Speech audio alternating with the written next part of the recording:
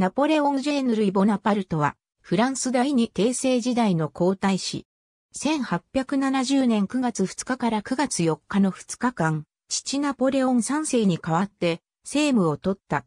ボナパルティストからはナポレオン4世と呼ばれた。寡黙な人柄であったという。1856年3月17日、フランス皇帝ナポレオン3世の着室子としてパリで生まれた。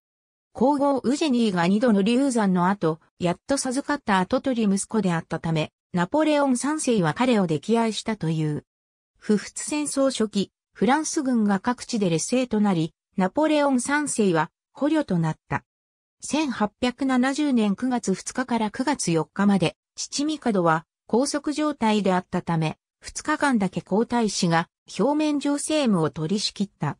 しかし9月4日にパリで民衆の暴動が起こると、9月6日にイギリスへ亡命した。イギリスではウーリッチ砲兵学校に入学し、好成績で卒業した。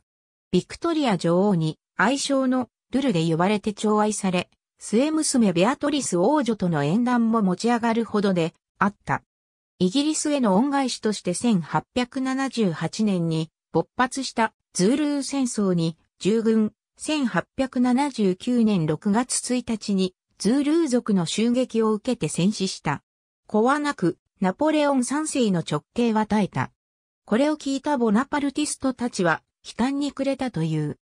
1998年、母ウジェニーにちなんで命名された小惑星ウジェニアに衛星が発見され、2003年に彼の愛称にちなんでプティプランスエウジェニア、アイプティプリンスと命名された。ありがとうございます。